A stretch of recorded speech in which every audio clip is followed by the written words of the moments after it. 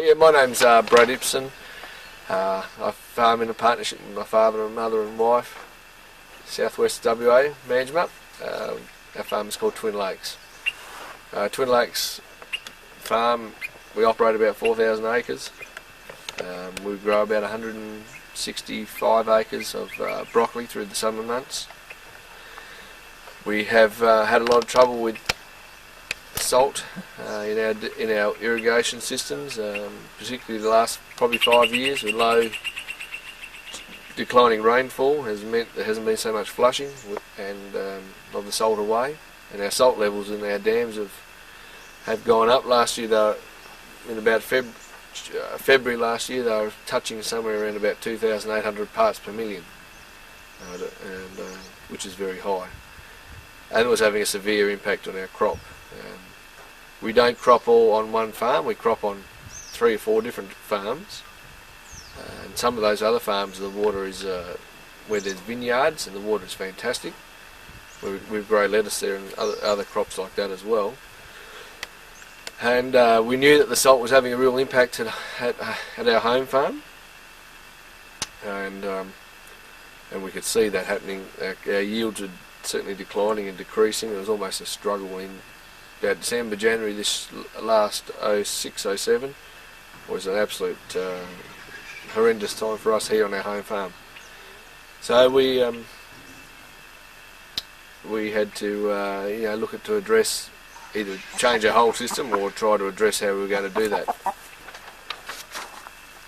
So with the uh, I spoke to um, another couple of farmers who had uh, had put in a carefree water conditioner and we thought, well, it was worth a. Uh, it's definitely worth a go for the money we were going to pay.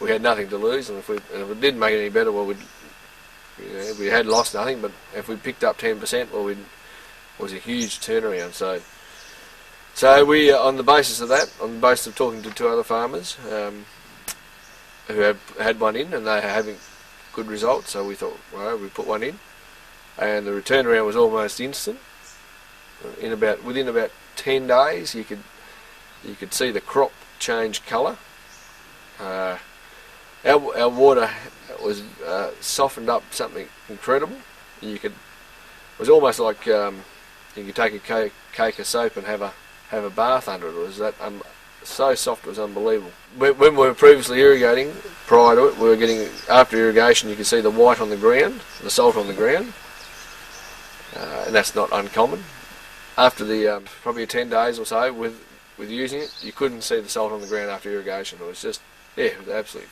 turned it turned it right around for us. We're growing roughly. We'll, we'll transplant this year somewhere around about two and a half million um, broccoli seedlings. Uh, we've actually started that process now.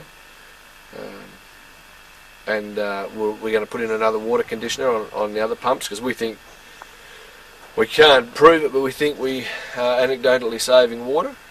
The water seems to infiltrate the ground a little bit better, doesn't seem to run, and we think that's because that's a little bit softer. Um, so we're going to put one on, uh, in fact we're going to put in three more.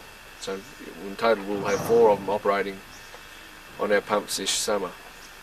Uh, also Mum was a bit miffed that we were buying something for the paddock, so we um, put one on the house dam for her on her roses, where roses are very sensitive to salt, and the leaves have had a, had a, around the edges they're all burnt, looked like they'd been sort of sprayed with spray seed, and sure since we put that since we did that put that on for the garden, her garden has actually you know really turned around as well. The roses have gone from looking like they're about to die to you know really something fantastic. We think it cost us about fifty thousand in the month of December and probably another maybe 30,000 in the month of January by not having, um, by just the crop losses we had sustained.